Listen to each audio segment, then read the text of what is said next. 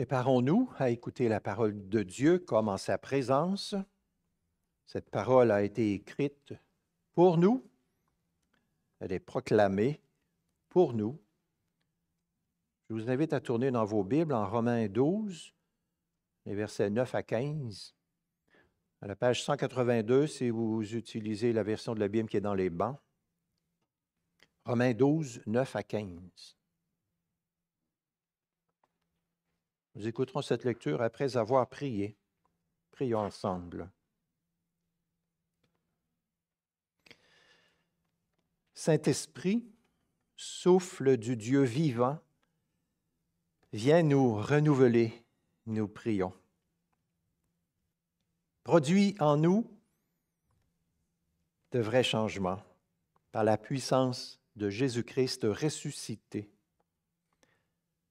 que ta parole prenne vie en nous, qu'elle nous sanctifie, qu'elle nous purifie. Que nos pensées soient guidées selon tes voies. Que nous puissions ce matin être puissamment interpellés dans nos êtres intérieurs par ta parole puissante qui parcourt les siècles et qui opère en tes élus la sanctification, cette transformation à la ressemblance de la plus belle personne qui soit, le Christ Jésus, notre Sauveur. En son nom, nous te prions. Amen. Écoutons cette lecture, Romains 12, 9 à 15. Que l'amour soit sans hypocrisie. Ayez le mal en horreur. Attachez-vous fortement au bien par amour fraternel, ayez de l'affection les uns pour les autres.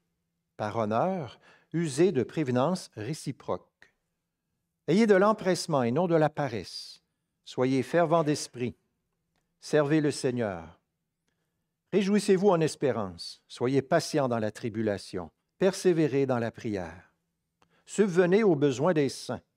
Tâchez d'exercer l'hospitalité. Bénissez ceux qui vous persécutent. Bénissez et ne maudissez pas. Réjouissez-vous avec ceux qui se réjouissent. Pleurez avec ceux qui pleurent. Amen. Quelle est la, différence principale entre toutes les religions inventées par les hommes et le christianisme?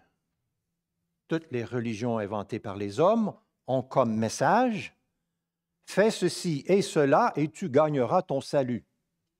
Alors que le christianisme, lui, a le message suivant, Dieu accorde le salut gratuitement à quiconque se confie en Jésus-Christ qui a subi le châtiment à notre place. Donc, reçoit le salut par la foi.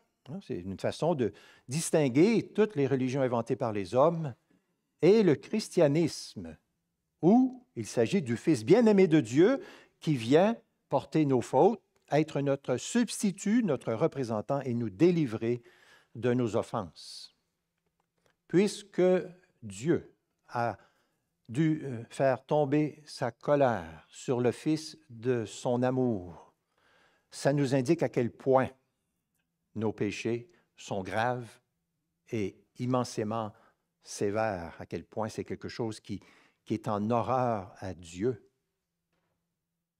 Maintenant que nous avons reçu par la foi ce beau salut et ce si grand amour de Dieu, quelle réponse Dieu attend-il de nous?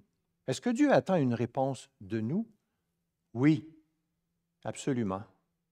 Nous le savons de toutes sortes de manières, mais entre autres parce que Dieu se présente à son peuple, par exemple en Ésaïe 5, comme le vigneron qui a tout fait pour bien prendre soin de sa vigne et qui espère avoir des beaux, bons et délicieux raisins. Dieu s'attend de notre part à une réponse. Quelle réponse? Au juste. Il s'attend à ce que nous produisions quoi? Il s'attend à ce que nous l'aimions en retour de son amour. L'apôtre Jean écrit nous l'aimons parce qu'il nous a aimés le premier. Mais qu'est-ce que ça veut dire l'aimer? Jean poursuit et dit, L'amour de Dieu consiste à garder ses commandements. Le Fils de Dieu a dit, Si vous m'aimez, vous garderez mes commandements. Quand on parle des commandements, on pense tout de suite aux, aux dix commandements qui nous sont rapportés dans la Bible, en Exode 20, bien sûr, mais ces dix commandements sont repris tout au long de la Bible et beaucoup dans le Nouveau Testament de diverses manières, sous divers angles, pour nous indiquer que finalement l'obéissance aux commandements de Dieu atteint toutes les dimensions de notre existence. En Romains 12, 9 à 21, il y a une trentaine d'exhortations spécifiques qui sont des commandements, des préceptes, des, exhortations que Dieu donne à son peuple pour que son peuple puisse vivre justement dans cet amour pour Dieu et pour le prochain. Ces commandements que nous trouvons dans ce passage s'imbriquent et s'appuient sur la loi morale du décalogue, c'est-à-dire les dix commandements. Nous sommes rendus dans notre étude de ce chapitre au verset 15 que je relis maintenant. Réjouissez-vous avec ceux qui se réjouissent, pleurez avec ceux qui pleurent. C'est très important de comprendre que notre conduite, notre comportement ne nous ouvre pas le chemin du ciel. C'est Jésus-Christ seul qui a obéi parfaitement à toute la loi de Dieu. Nous étions perdus et égarés, il nous a ramenés à Dieu et maintenant nous voulons vivre notre vie en nous appuyant, en nous fondant sur ce que Jésus-Christ a fait. Notre attitude, notre comportement, notre conduite, désormais, nous voulons le baser sur ce qui a été fait par Jésus-Christ. Premièrement, donc, réjouissez-vous avec ceux qui se réjouissent. Dieu merci, il y a de nombreuses raisons de se réjouir dans ce monde dans lequel nous sommes, bien que ce soit un monde déchu. Il y a de nombreuses raisons de se réjouir. Nos frères et nos sœurs dans la foi, comme nous-mêmes, pouvons nous réjouir de toutes sortes de manières, pour toutes sortes de raisons. La principale raison étant cette espérance invincible qui nous habite. Je vous rappelle Romains 12, 12. Réjouissez-vous en espérance. Mais bien sûr, il y a toutes sortes d'autres occasions de se réjouir dans ce monde, des grandes et des petites. Quand une personne cherche une compagne ou un compagnon de vie qu'il trouve, qu'il se marie, c'est une grande réjouissance. Quand quelqu'un a un enfant, c'est une grande réjouissance. Je vous rappelle Luc 1, 57, 58 le temps où Élisabeth devait accoucher arriva et elle enfanta un fils. Ses voisins et ses parents apprirent que le Seigneur avait manifesté envers elle sa miséricorde et ils se réjouirent avec elle. Ils se réjouirent avec elle. Réjouissez-vous avec ceux qui se réjouissent. Mais il y a plein d'autres occasions aussi, bien sûr. Quand quelqu'un était incroyant et devient chrétien, quelle grande occasion de se réjouir. Quand quelqu'un était malade et obtient la guérison, quelle grande occasion de se réjouir aussi. Quand un frère ou une sœur obtient du succès dans tel ou tel domaine, c'est une grande occasion de se réjouir. Quand quelqu'un s'était éloigné du Seigneur et revient de tout son cœur à Dieu et veut mettre ses dons et ses capacités au service des autres pour faire du bien, quelle occasion de se réjouir.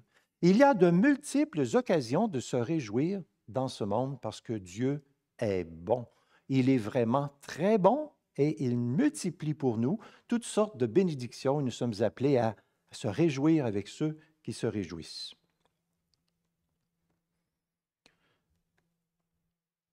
Est-ce que ce n'est pas bien évident tout ça? Pourquoi est-ce que l'apôtre Paul prend la peine de préciser ici cette réalité? N'est-ce pas ce que tout le monde fait naturellement? Eh bien non. Non, ce n'est pas inné en nous de nous réjouir avec ceux qui se réjouissent. Ce qui est inné en nous, c'est plutôt la jalousie, l'envie, la haine, la malice et les choses semblables. Paul écrit dans son épître à Tite, Nous vivions autrefois dans la méchanceté et l'envie là où règne l'envie, c'est impossible de se réjouir vraiment des succès et des bénédictions des autres. Paul combat donc dans ce verset ce travers, ce défaut qui consiste à ne pas vouloir se réjouir avec ceux qui se réjouissent. Qu'est-ce que l'envie fait quand ça va bien pour les autres? L'envie nous rend amers quand ça va bien pour les autres. Nous protestons que les autres ne le méritent pas, ou certainement pas, en tout cas, autant que nous, nous le méritons. Cette tendance à minimiser les succès des autres et à chercher à dissiper leur joie est très répandue. Et ça démontre à quel point nous avons besoin, chacun d'entre nous, d'une transformation de notre intelligence, comme on l'avait vu en Romains 12, 2. Une transformation, un renouvellement de notre intelligence.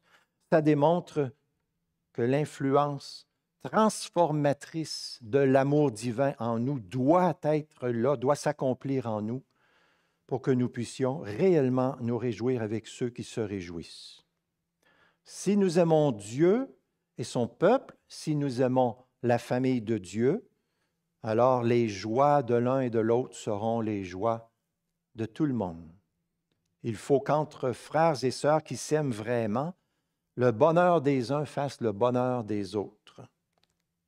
Réjouissez-vous avec ceux qui se réjouissent. 1 Corinthiens 12, 26, Paul écrit, Si un membre est honoré, tous les membres se réjouissent avec lui. Tous les membres se réjouissent avec lui. Autrement dit, une joie partagée est une joie doublée, triplée, quadruplée, cintuplée, centuplée. Pouvez-vous vous réjouir du bonheur des autres, réellement, des bénédictions des autres, des succès des autres? On ne peut pas être à la fois heureux et envieux. Jean Chrysostome écrit Quelqu'un dira Pourquoi l'apôtre Paul prescrit-il de se réjouir avec ceux qui sont dans la joie? Qu'y a-t-il de si grand là-dedans? C'est oublier que voir une personne dans le bonheur et non seulement ne pas lui porter envie, mais se réjouir avec elle, c'est un sentiment que Dieu doit nous inspirer. Prends part à la joie de ton frère afin de la rendre plus grande. Quand ton frère verra que tu ne regardes pas de mauvais œil son bonheur, il t'aimera d'un amour plus fort. Deuxièmement, pleurer avec ceux qui pleurent. Job avait perdu ses dix enfants, sa santé, ses biens et beaucoup d'autres choses. De quoi est-ce qu'il avait besoin dans cet état? Il avait besoin de quelqu'un pour pleurer avec lui. Nous lisons en Job 2, 11, Trois amis de Job apprirent tous les malheurs qui lui étaient arrivés et partirent chacun de son pays. Ils se concertèrent pour aller le plaindre et le consoler. Ayant de loin levé les yeux sur lui, ils ne le reconnurent pas et se mirent à pleurer. Ils déchirèrent leurs manteaux et jetèrent de la poussière en l'air au-dessus de leur tête. C'était un signe de deuil. Ils s'assirent avec lui par terre pendant sept jours et sept nuits. Personne ne lui disant une parole, car ils voyaient que sa douleur était fort grande. C'était le genre de compassion que Job avait besoin et qu'il a reçu de ses amis. Un médecin chrétien qui a écrit de nombreux livres dit Quand je demande à mes patients et à leurs familles qui vous a aidé le plus dans votre souffrance, on me dit que la personne qui a le plus aidé n'est pas celle qui a des réponses faciles. Ce n'est pas celle non plus qui a une personnalité particulièrement encourageante ou pleine d'entrain. Mais c'est habituellement quelqu'un qui est calme et compréhensif, qui écoute plus qu'il ne parle, qui ne juge pas et qui n'offre même pas beaucoup de conseils. C'est une présence, quelqu'un qui était là quand on en avait besoin une main à tenir, une étreinte compréhensive, un sanglot partagé. Pleurez avec ceux qui pleurent. Ça me rappelle ce petit garçon tout jeune avec un cœur aimant qui vivait le voisin d'un couple âgé. La dame était morte il y a quelques mois et le petit garçon voit sur la galerie l'homme, le, mari, qui se berce en pleurant et le petit garçon décide d'aller se rendre chez lui, monte sur la galerie, s'assoit sur lui et plus tard, quand il revient à la maison, sa mère lui demande Puis, qu'est-ce que tu as dit Il dit Je n'ai rien dit. Je, l'ai seulement aidé à pleurer. Peut-être il y a quelqu'un autour de nous qui a besoin qu'on l'aide à pleurer, qu'on compatisse, qu'on ait de l'empathie, qu'on veuille sympathiser, écouter, être une présence. On est porté à dire, mais ben, il faut que je dise quelque chose de, de, sage, de grand, de beau, d'efficace. Certains sont portés à essayer de faire des blagues et tout ça, mais c'est toujours moins réconfortant qu'être une présence aimante à côté d'une personne qui souffre. Une présence silencieuse est parfois bien préférable à des propos maladroits. Lorsque les trois amis de Job se sont mis à lui faire des reproches. Lorsqu'ils ont ouvert la bouche, après été fermé pendant sept jours, ça a commencé à mal aller. Et Job leur a dit, Pourquoi n'avez-vous pas gardé le silence? Ça aurait été pour vous la sagesse. Pleurez avec ceux qui pleurent. Pourquoi l'apôtre Paul souligne-t-il ça ici? Est-ce que ce n'est pas ce que tout le monde fait? Est-ce que ce n'est pas inné en nous? Eh bien, non, ça ne l'est pas. À cause de notre nature pécheresse, nous sommes portés parfois à vivre dans l'insensibilité, l'indifférence, l'égoïsme, l'absence de pitié et des choses semblables. Notre Sauveur, le Fils de Dieu, a raconté ceci. Un homme descendait de Jérusalem à Jéricho il tomba au milieu des brigands qui le dépouillèrent, le rouèrent de coups et s'en allèrent en le laissant à demi-mort. Un sacrificateur descendait par le même chemin. Il vit cet homme et passa outre. Un lévite arriva de même à cet endroit. Il le vit et passa outre.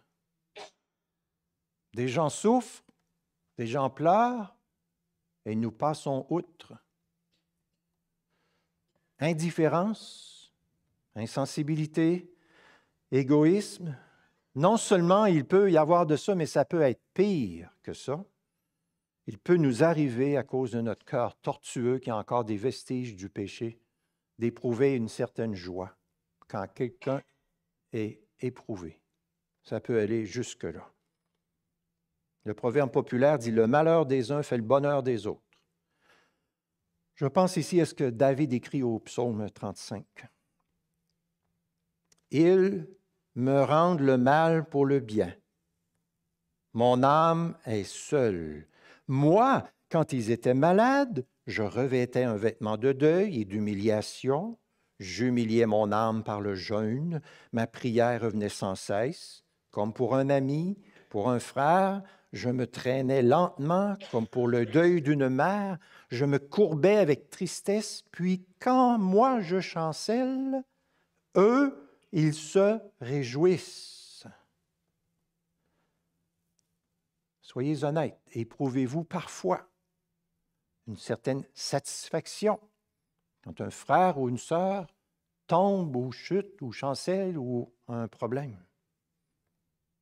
Parfois, secrètement, il y a comme un contentement en nous parce que quand l'autre est à terre, nous sommes debout, nous pouvons nous enorgueillir, nous, de ne pas être à terre. Quelqu'un a avoué, je ressens une profonde satisfaction lorsque je vois les plans des autres s'écrouler comme des châteaux de cartes.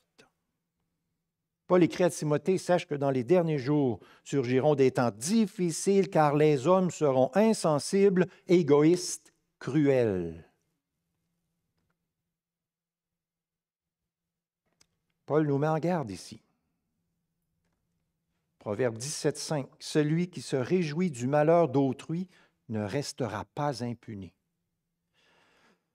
Prenant conscience de son manque d'amour pour les autres et de son égoïsme, un chrétien qui avait écrivait un journal a écrit ceci dans son journal une certaine journée.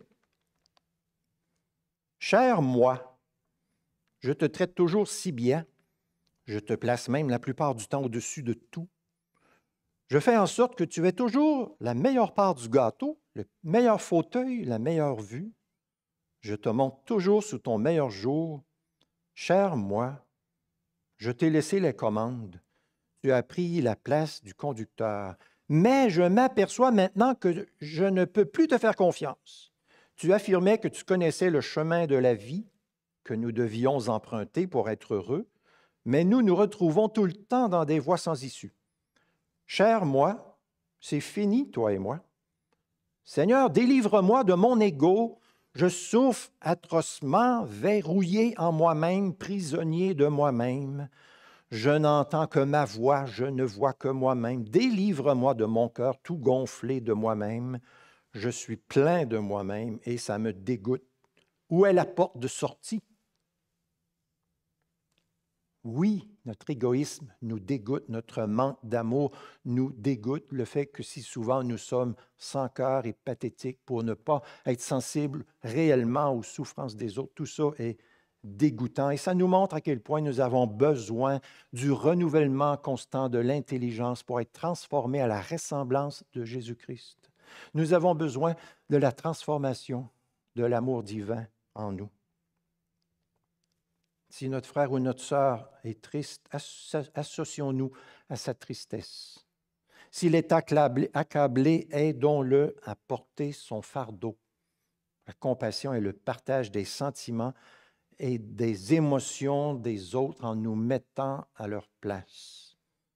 Notre tendance naturelle, c'est d'être indifférent. Agir selon Dieu consiste à compatir aux peines de ceux qui nous entourent.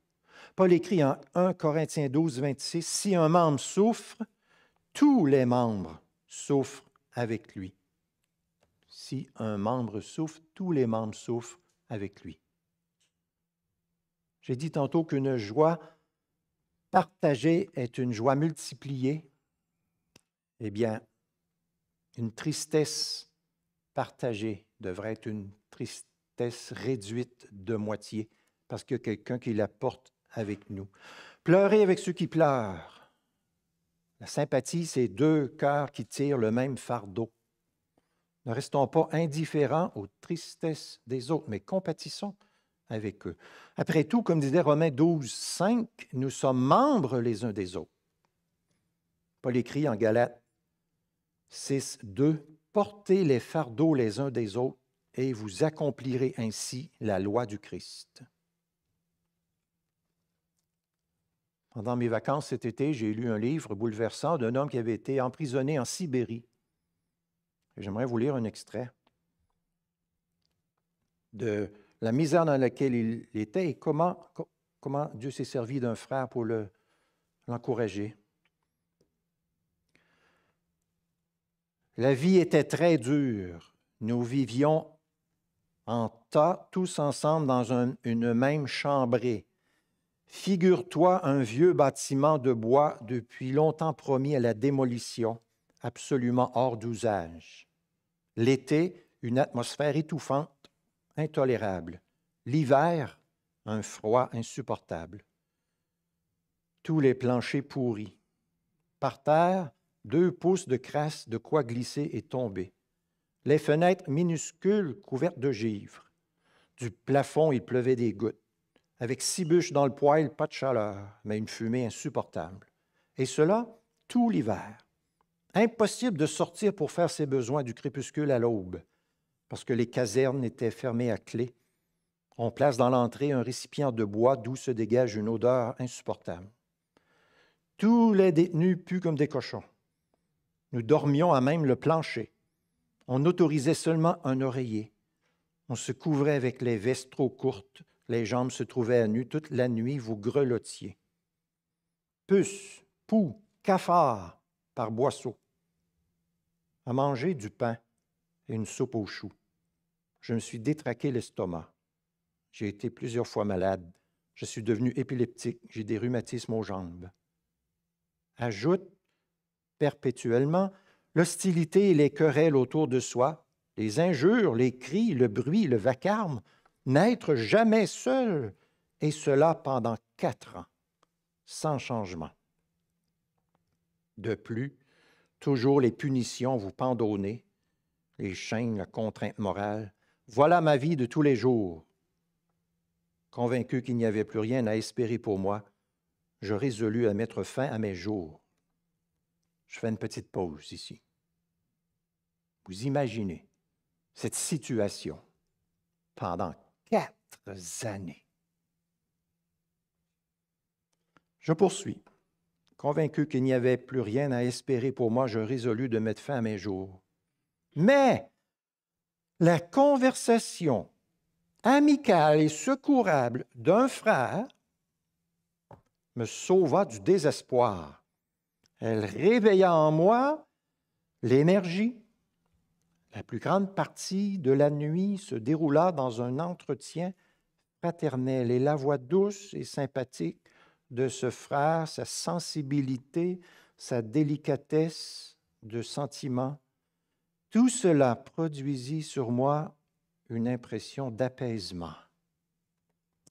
Et la fin de l'histoire, c'est que cet homme a fini par être délivré, sortir de là et vivre 30 années par la suite, en bonne partie parce que Dieu s'était servi de ce frère qui avait compati et qui avait porté son fardeau avec lui. Pleurer avec ceux qui pleurent. En Ésaïe 63, il est question des actes bienveillants de l'Éternel, de tout le bien que l'Éternel a fait à son peuple à la mesure de ses compassions. Et il est écrit ceci, dans toute leur détresse, la détresse du peuple de Dieu, qui était pour Dieu aussi une détresse. L'ange qui est devant sa face les a sauvés dans son amour et sa miséricorde, il les a lui-même rachetés, il les a soutenus et portés tous les jours d'autrefois. Dans toute leur détresse, qui était aussi pour lui, pour l'Éternel, une détresse? Jacques écrit en Jacques 5, 11, Le Seigneur est plein de compassion. Le Seigneur est plein de compassion.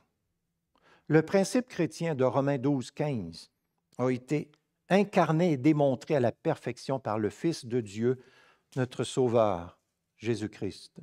Pourquoi est-ce qu'il a quitté ce palais de gloire où tout s'écrit gloire pour descendre dans notre misère épouvantable?